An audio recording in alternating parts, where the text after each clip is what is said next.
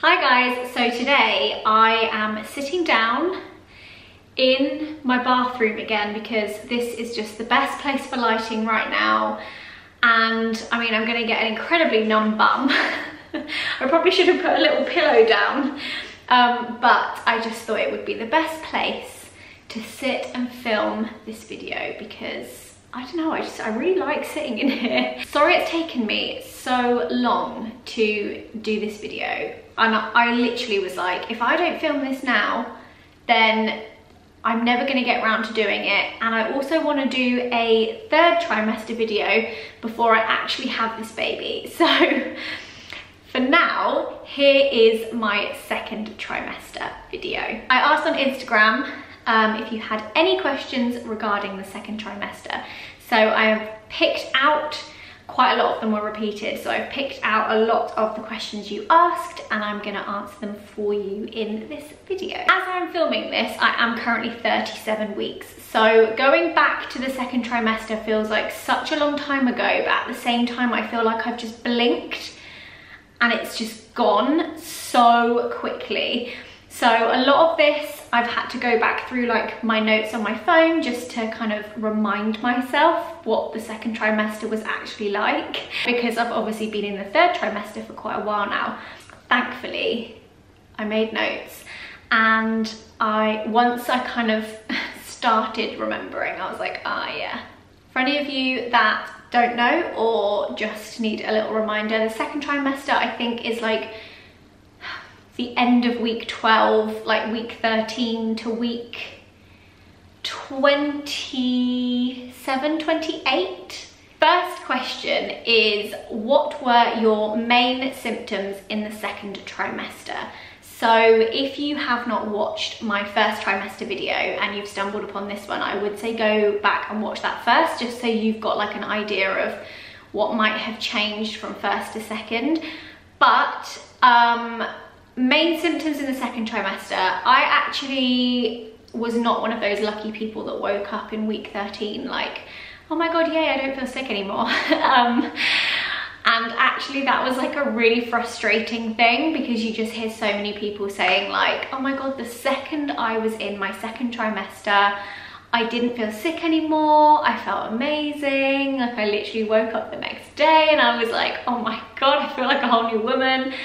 And I was really waiting for that to happen. And I think because I had been kind of counting down to the second trimester because I absolutely hated how sick I felt. My countdown was very much like, just get to the second trimester, just get to the second trimester. And then when I got to the second trimester, I was like, why do I feel the same? so that was a huge expectation versus reality moment because I did not feel instantly any better. I would say that my nausea started going away probably around week 15 and 16. Um, and by that I just mean like a large portion of the day I didn't feel sick and then I would only feel sick at like 4 p.m. for around an hour and a half and then that hour and a half got slowly um, just smaller and smaller like the window of me feeling nauseous just got smaller and smaller. It was always still around 4 5 p.m um, even if i was busy doing something i would think like oh my god i just have like a wave of nausea. Look down at my phone and it's like half four and i'm like it's like clockwork so much like my first trimester, I just always made sure around four or five, I would have a little lie down, sip my Sprite, have a chewing gum, just chill, get some fresh air. Um, and then I would say by week 17, that was pretty much gone. Um, and it was delightful. I was able to go out and meet friends, go and eat out. Um, I just, I think feeling good or not feeling sick meant that I kind of got a little bit more of my freedom back that I'd if I'm honest, I'd totally forgotten what that felt like because I just felt sick for so long. One thing I did have, which I was not expecting, was a drop in my blood pressure around weeks 19, 20 for I would say about a month, so about four weeks, I was experiencing like quite sudden drops in my blood pressure, which was very new feeling for me. I'm not a fainty person, I've never fainted. I feel like I need to touch wood. there is no wood around me. Oh wait, there we go. And so to be experiencing those like dizzy spells was quite scary um, especially like if I was on my own or, and they would usually only really happen if I got up very quickly or if I was doing too much. So I had one morning where I was like tidying the house, hoovering, dusting, plumping up all the cushions, like I was on like a massive nesting cleaning spree and I was just lying there and my, I just, I couldn't function. I was reading something on my laptop and I was like, these words don't make any sense to me. It was like my brain wasn't working. And I was like, whoa, that's weird. And then all of a sudden I was like, I'm going to faint. And it was just a feeling I've never encountered before. Um, I, I didn't faint. I managed to like lie down, lift my legs up and like do some calm deep breathing. And also I was sipping on water and trying to like shovel some raspberries down me. Um, but that kind of freaked me out because I was like why did that happen? It turns out it was a dip in my blood pressure which when I spoke to my mum she was like oh I had that in my pregnancies with you and your brother. And I was like okay um, but that did not last and I think that was one thing that did knock my confidence slightly because sometimes it would make sense and I would be like, oh, I just got up too quick or I was doing too much. And then sometimes it made no sense at all. Um, and for the times it made no sense, it really worried me. Like I, I used to think like, what if I'm walking through town and it happens and I just faint in the middle of like town or, you know, like it, it made me a little nervous and apprehensive to kind of carry on as normal. So I was always very careful and considered and I was made sure I was with someone. I could not have baths. not that you can have hot baths when you're pregnant anyway, but I was advised not to have any because any change in like sudden temperature was not good either. So that was about kind of four or five weeks of kind of dips of that. Um, but I just made sure I was checking my blood pressure regularly um, and making sure I took it easy and rested. And also, once I had realized what it was, it was something that can be quite common in the second trimester, which I did not know about. My dysgeusia went away by about week 19, 20. Um, dysgeusia is uh, when you get that either metallic or sour taste in your mouth and I had a sour taste and it was one of the things that uh, was one of my very first pregnancy symptoms. It came very, very early and it was also one of the last things to kind of go from my first trimester symptoms. And the day that went, or I guess it was pretty gradual, it wasn't just a day, but when I realized I could eat tomatoes and it not leave this disgusting taste in my mouth, I was like, oh my God. I had forgotten how good it was to kind of have like my, my taste and my mouth back. Um, so that was amazing. My sensitive teeth also went away at about the same time where it was like painful to brush my teeth sometimes and my gums were really sore. Um, that all went away, which was lovely. One thing that happened in my second trimester that never happened in my first trimester was something that I called lead legs. Basically, the only way I can describe it is like my legs felt like they were made of lead and they were like really heavy. And um, I was told that that's like really normal and it's just where the pressure of like your uterus and the baby and everything else, all the fluid is just weighing on your like nerves and that can affect like how your legs feel. So sometimes I would feel like I was lifting my legs and walking, but my legs were so heavy. Um, so I got a little like support band, which I did use every now and then, but I don't feel like it really made much of a difference.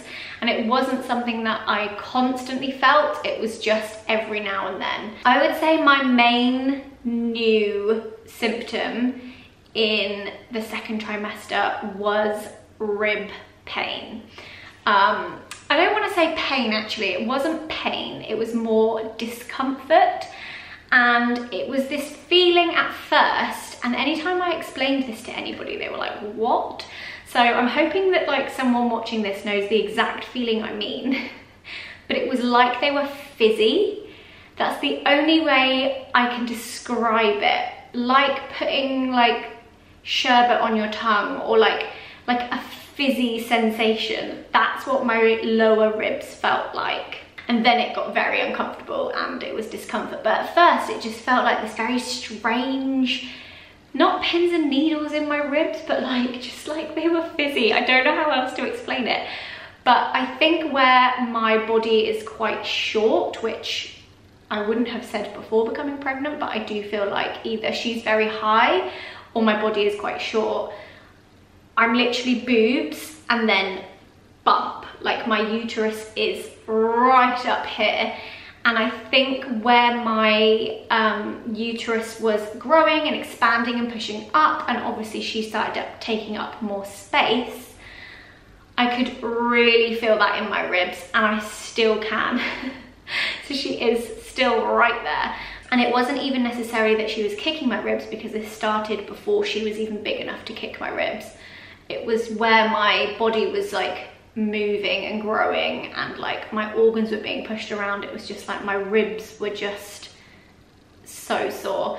Um, so kind of bruised painful. If I touched them it was like really sore. Um, and very quickly when that was happening um, I had that thing where I was so hungry but I just did not have any space. I just felt like I had no space to eat and sometimes that made me feel quite claustrophobic. So I would be out for dinner and I would just be eating and then all of a sudden I would just be like I feel so uncomfortable and everything is just here. And I would have to like stand up to feel like I had a bit more space. Um, so that was definitely something that obviously didn't experience through the first trimester. Another thing that happened through the second trimester was that I definitely felt where my bump was growing at a much quicker rate than during the first trimester, obviously, where you don't really have much growth. Um, my skin was itchy and stretched and I was moisturizing like twice a day just to get any kind of like comfort from that. Um, and that was only really, I would say, around the like 17, 18, 19 week mark. And then after that, it like calmed right down. I think it was just that initial like growth spurt and like my skin being pushed to a capacity it's never been at before. It was like, whoa. Um, but I used all the shower oils. I used body oil, body lotion. I was basically just always moisturized. then I think slightly more towards the end of the second trimester, I had heartburn, joyful, lovely heartburn. Um, so Gaviscon has been a lifesaver. I only really get it at night or if I lie down or if I lie on my left side. My right side, sorry, left side is fine, right side, no. Um, and that just like is just, it just the feeling of that just like rising up in your throat is just something else. Okay, so next question. Some, some things that you've loved the most about the second trimester. I think the main thing that I loved the most about the second trimester was feeling her move and kick and I was always convinced I'm gonna be one of those people that doesn't feel it for ages. I think, I don't know, I just told myself I wouldn't and every little like feeling I was like is that it is it not it And without being like TMI, I'm quite like a gassy person anyway. So there's always like something going on down there. And especially during pregnancy, like your body is just doing like the craziest things. So every little like bubble or like movement, you just think like, that's just, I'm just brewing a fart. Like that's a fart, that's just gas. I was, where was I when I felt it properly? And I was like, that is definitely a kick. I think I had disregarded the flutters. Obviously this is my first pregnancy, so I don't know what the flutters feel like. And I think a lot of the flutters I put into gas category through like week 17 when actually they were probably flutters. Because then in week 18 I felt like a kick like a like a little elastic band. And I was like hang on a minute that's that's not gas. That's far a far too low down. And also that wasn't the same feeling. And it was after I ate a cake pop so from then on like I would, whenever I would lie down and eat a cake pop, I could feel the little like flicking. Then I would look down and I could see it, like my, my skin would like jolt. And then I think honestly, like the next day, I put Alfie's hand on there and he felt it. So it was all very quick, which does make me think that I'd like missed I'd missed that first bit. I think I only really felt confident that it was kicking, like when it was proper kicking. Um, so yeah, by weeks 18, 19, she was kicking around in there pretty much every day.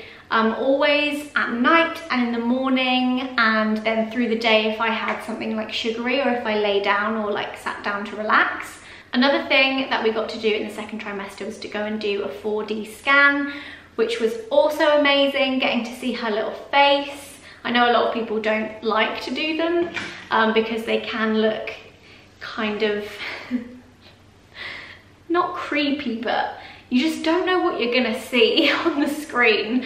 Um, and you know, there's like cords and placentas and like the lining of your womb and hands up at faces and it's, sometimes it's quite difficult to kind of make out what's there but I'm really glad that we did because I loved being able to see her little face or at least what her face will probably look like. I mean she had a lot of growing to do still but it was just a really nice experience and I loved it.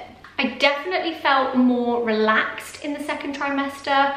I think the first trimester is such like a you just you just go day by day and you just want each day to like hurry up and you're counting down to like the next trimester.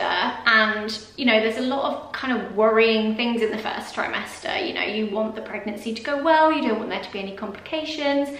You're reading other people's stories or you're in forums reading things that are happening to other people and you're just thinking like is this too good to be true? Like what if something happens? It's still so early. And I think a lot of that worry subsided for me in the second trimester, which was quite nice because I kind of felt like I relaxed a little bit more into the pregnancy, which was nice because it just meant that I was kind of enjoying it more. I also feel like I had less boob sensitivity in the second trimester. In the first trimester where like your boobs are like, even to touch them, you're like, ow there was much less of that in the second trimester and I feel like my boobs were just kind of normal. Like there was nothing really going on with them at all in the second trimester. They were, they were bigger, but they still just looked like my boobs but slightly bigger and that was about it. Another thing that happened to me in the second trimester which I quite enjoyed was that my body hair just didn't grow. in the first trimester, I was so hairy. I would shave my legs and the next day they would be fully back. Like I would be like, there is no point shaving my legs because my hair is growing at the most ridiculous rate ever. And then during the second trimester, I could go like two weeks with nothing under my armpits or on my legs. And I was like, this is so strange. It's still a little bit like that. Like, oh, when did I last shave my legs? Maybe like six days ago and there's like hardly anything there. Um, so it is a little bit still like that, but in the second trimester, I was just like, this is so strange. Like none of my body hair is growing. Another thing that I think was really like positive for me about the second trimester was that because I wasn't feeling sick every day and I just felt more relaxed and much less anxious, I felt so much more like me. And I think it's difficult because you almost get to a point where you're like, I've kind of forgotten what I was like before because it's been like 15 weeks of feeling so ill. Um, like, who was I before this? And in the second trimester, I definitely felt my personality come back.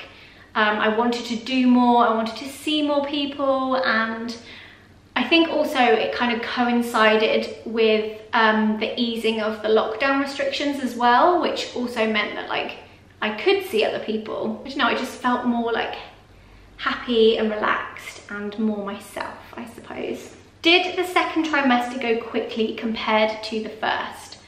Oh my gosh, that is a complete understatement.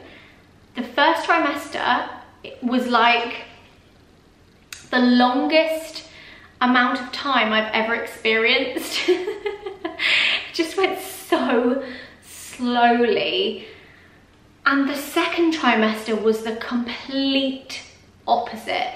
It was like every day I woke up, blinked, and then found myself in bed at night and the day was over and it was like the next day. And both Alfie and I just kept saying this. We were like, where is the time going? Why is it going so quickly? Like almost to the point where it was like actually kind of freaking me out because I've never known time to move so fast in my life and especially when you feel like you're like in nesting mode and you feel like you have all these things that you want to get done before the baby arrives it's like the worst combination because a day goes by and you're like I didn't tick off my 20 things on my to-do list today. Now I'm behind now I haven't done enough and um, it was just it just went so quickly. I feel like this whole pregnancy has gone really quickly if I'm honest. Um, even though I have been pregnant this, this entire year so far, which feels so strange to say, like I've not done any of 2021 not pregnant yet. um, it's just gone so, so quickly past that first trimester. How do you feel about your body changing? So I do feel like most of my body changes have happened more recently. I think definitely when I started getting a more noticeable bump, that was in the second trimester, I'd say about like halfway through. And honestly, I I didn't really think about it that much beforehand because I've just always been so excited to be pregnant and to have a bump and to experience this that what it was going to do to my body didn't I didn't really think about it. I thought about the physicalities and things like what if I feel sick what if I have no energy I, th I thought about things like that but I never ever thought about like how my body would change or you know what if I don't like what I look like or what if having a bump is really weird to me or I just didn't really think about those things and honestly I I love what my body is doing right now. I just, I think it's incredible that I have grown a human being. I know that a lot of people really, really struggle with body image during pregnancy, but I, I just haven't been one of those people. Um, I love what my body looks like. I see my bump and I just get so excited that there's a bump there. Um, and I just love it. My boobs have definitely changed slightly. Um, in the third trimester but I still, I don't, they look different than they did before, but it's not that I don't like them, it's just that they look slightly different. Um, but ask me again once I've had the baby, I could, I could feel totally the opposite. I could be like, whose body is this? What's happened? Whose boobs are they? Like, I have no idea, but all I can tell you is that during this pregnancy, I have loved my body. which I'm really happy that I can sit here and say. Did you start nesting in the second trimester? Yes. Alfie and I made a list of things that we were like, we want to get these done before we have a baby. Otherwise, we fear we may never do them. One of which was like clear out our entire downstairs basement, clear out an outside basement, sort out the upstairs, do her room. Like there was just like this huge like house list, most of which were things that are you just gonna sit and have a little scratch in the background? A lot of the things on our list were things that we had been meaning to do anyway, but we just thought, right, now's the time to do them or we just will never do them when we have a baby. So yes, we started nesting. I would say both of us actually, it wasn't just me. Um, Alfie was equally nesting. and I know that it's not important to have the baby's room done before the baby arrives and that she probably won't be in it much until she's like a little bit older. But just mentally knowing that that's done and ready and there for her rather than trying to get that done with her being like young just felt good. It felt good to get it done and that is going to be a nursery video, don't worry. Did you get any new cravings in the second trimester? Not really. I, I definitely haven't had any weird cravings. I think the only thing, much like the first trimester, that I have consumed so much of is strawberries and that's continued through my whole pregnancy and it's the only thing I can imagine myself wanting to eat during labour as well. um, just strawberries and actually Kit Kat Chunkies I really wanted in my second trimester. But I don't know, it's not really a weird craving because I liked those things before. I just think I've eaten more of them being pregnant. And uh, cake pops. I ate a lot of cake pops in my second trimester. Did baby react to certain things you ate or drank? I suppose that kind of follows on from what I just said, but she definitely reacted to the cake pops that I was eating. Um, it was like that one time where I knew if I ate a cake pop, I could sit there, me and Alfie would sit and just hold my tummy until we felt her moving. Um, but now, now I think it's just anything. She, she moves a lot, like she is a mover. So she just reacts to everything. there is, there's no like certain food now that she reacts to, but originally it was a cake pop, which I think is probably because it has so much sugar in it. How has your sleep been through the second trimester? Much better than it is now. um, I definitely found that I needed my pregnancy pillow. And actually I bought myself the BB Hug Me pillow, which I know that so many people love, but I haven't really used that much. I found that that was slightly too big um, and I didn't, I couldn't find a way to like get comfortable with it. I've been using like a U shaped pillow um, that I think you can get on Amazon. So oh, if I can find it, I'll leave a link. But that's the pillow that I've been sleeping with every single night. I love it. It's been an absolute lifesaver. And until the heartburn got really bad, I was sleeping really well. And now it's just heartburn or needing a pee or she's kicking me. So I don't really sleep now, but in the second trimester, lovely. How did you feel emotionally during the second trimester? Um, as I said, I definitely felt more me and I think that that was so nice. I had much less weepy, frustrated moments and I generally just felt uh, much better in myself anxiety wise and I relaxed a bit more. The only thing that I would say I think I felt quite a lot in the second trimester because the time was going so quickly, I felt quite overwhelmed that there were things I wasn't doing quick enough. So like I would have people in my DMs being like, oh, have you done this course? Or have you thought about looking into this? Or have you thought about doing a birth like this? Or have you thought about looking, researching um, this? Or have you read this book? Or I really recommend you read this. And I, and I got quite like overwhelmed by the amount of knowledge I felt like I needed to have but the time was going so quickly that I was like, I'm never gonna be able to do all these courses and read all these books and listen to all these podcasts and do all these things. And I think once I just kind of like let that go, I was much, much better. But there were definitely moments where I would get quite teary to Alfie and be like, I feel like I don't know enough and I feel like I'm not doing all the things. It's very much just a, you don't need to read all the books, you don't need to know all the things um, and just relax.